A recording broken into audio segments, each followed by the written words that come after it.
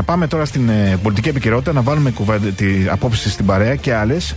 Να έρθουμε λίγο και στον αντιπολιτευτικό λόγο, όπως να εκφράζεται.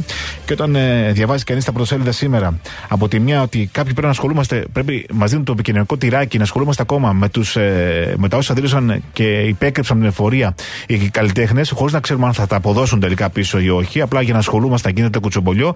Φτάνει και η άποψη ότι πιθανόν για την τροϊκανή λογική θα πρέπει να φτάσουμε 67 και τουλάχιστον και παραπάνω ετών για να μπορέσουμε να πάρουμε σύνταξη. Μπας και βρεθεί έτσι τουλάχιστον ένα δις ευρώ. Θα ήθελα την απάντηση γι' αυτό, αλλά και τις σκέψεις του κυρίου, ε, του υπεύθυνου της Επιτροπής Κοινοβουλευτικού Ελέγχου του Υπουργείου Εργασίας και βουλευτής στη δεύτερης περιφέρειας Αθηνών για το ΣΥΡΙΖΑ. Ε, μιλάμε με τον κύριο Δημήτρη Στρατούλη. Κύριε Στρατούλη, καλό μεσημέρι. Ναι, σας νομίζω αυτή η σκέψη όχι μόνο είναι αντικοινωνική, ε, ε, γιατί καταδικάζει στην ουσία σε ακόμα μεγαλύτερη ανεργία τα νέα τα παιδιά που ήδη ε, με τις χθεσινές ε, στατιστικές που ανακοινώθηκαν ε, της Eurostat, η Ελλάδα έχει πάρει το χρυσό εντός εισαγωγικών μετάλλιο σε όλη την Ευρώπη, με το μεγαλύτερο ποσοστό ανεργίας των νέων. Άρα, οδηγεί ακόμα περισσότερους νέους στην ανεργία το να παραταθούν τα όρια ηλικία συνταξιοδότησης από τα 65 στα 67. Δεύτερο, είναι και αντιοικονομική πρόταση, διότι δεν ξέρω πόσο παραγωγική μπορεί να είναι εργαζόμενοι και εργαζόμενες στην ηλικία 65 με 67 ετών, σε μια περίοδο που η χώρα μας χρειάζεται ό,τι το δυνατό το καλύτερο για παραγωγική ανασυγκρότηση και αναπτυξιακή ανασυγκρότησή της, της οικονομίας και της κοινωνίας. Και τρίτο είναι και ανόητη πρόταση. Ανόητη, εντελώς πρόταση, διότι για κάθε χρόνο που παρατείνεται το όριο συνταξιοδότησης, ε, ελάχιστες ημέρες ή μήνα ε, και ζωής κερδίζει το ασφαλιστικό σύστημα. Δηλαδή δεν αποδίδει ούτε καν στο ασφαλιστικό σύστημα αυτή η πρόταση. Επομένως, είναι μια πρόταση που εμείς θα την πολεμήσουμε με κάθε τρόπο. Επιτρέψτε να προσθέσω στη σκέψη σας, χωρίς να είμαι υποστηριχτής του ΣΥΡΙΖΑ, ε, δικός σας υποστηριχτής, επειδή είμαι δημοσιογράφος κατά την ε, απόστασή μου, αλλά ε, ο, ο, ο, κοινό, η κοινή λογική είναι κοινή λογική για κάποια πράγματα. Δεν μπορεί να την χρεώσεις απαραίτητα κομματικά.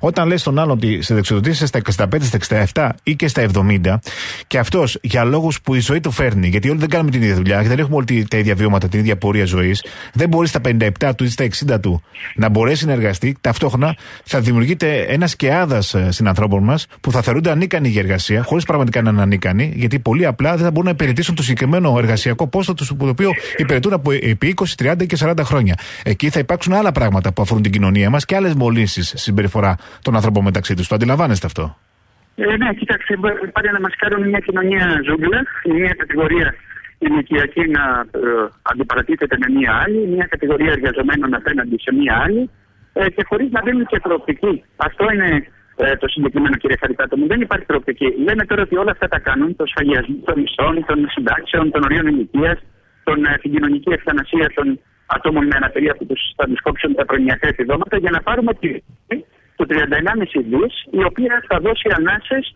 αναπτυξιακές στη χώρα όπως λέει ο κ. Σαμαράς. Δεν είναι αλήθεια. Είναι ψέματα κύριε Χαριτάτο μου. Θα είδατε κι εσείς ότι αυτά τα 31,5 δις που περιμένουμε να πάρουμε τη δόση από την Τρόικα, 4 δισεκατομμύρια θα πάνε για ανακεφαλαίωση των τραπεζών και μάλιστα με μετοχέ κοινέ άνευ ψήφου, ουσιαστικά θα επιβραβεύσουμε με χρήματα των φορολογουμένων, θα επιβραβεύσουν με χρήματα των φορολογουμένων του, τρα, τους τραπεζίτες που χρεοκόπησαν τις τράπεζες.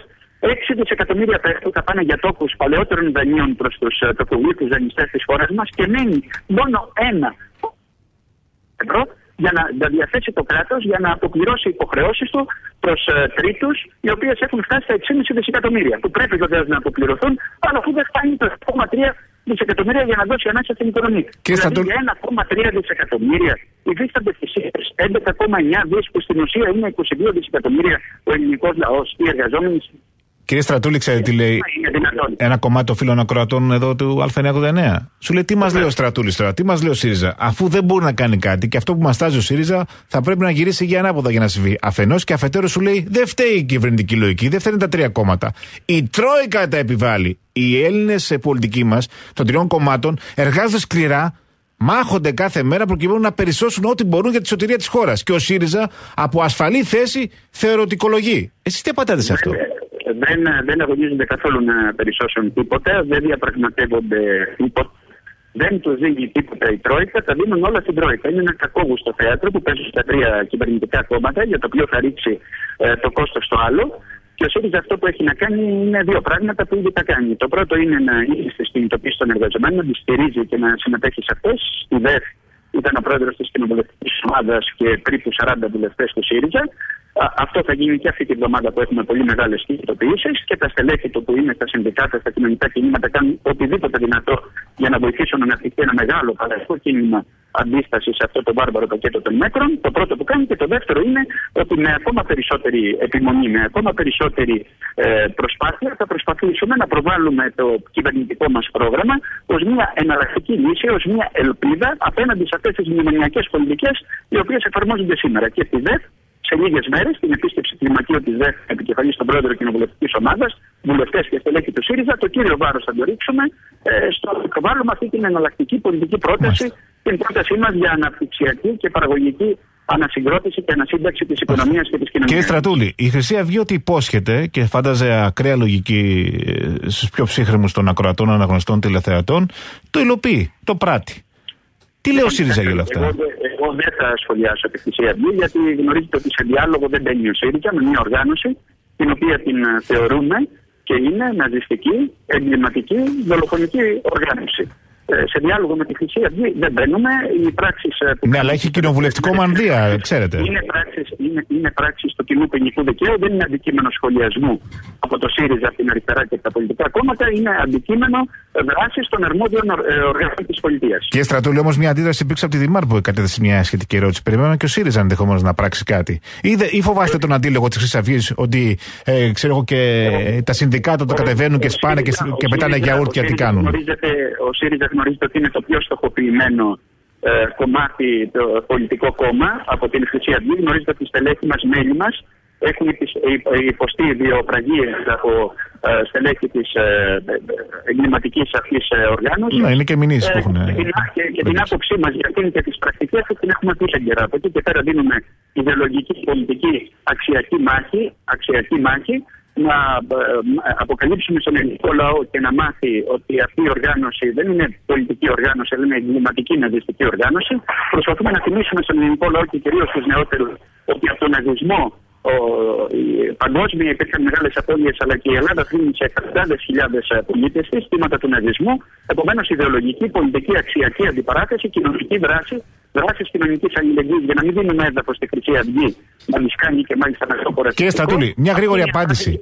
Μια γρήγορη απάντηση θα πρέπει να πάω σε τίτλους ειδήσεων. Δεν θα θέλω να σας διακόψω. Αλλά εκκρεμεί. Το γράφουν και οι δημοσιογράφοι, το λένε και οι πολίτες, γιατί το διαβάζουν τους δημοσιογράφους, γιατί έχουν αυτή την άποψη, έτσι είναι.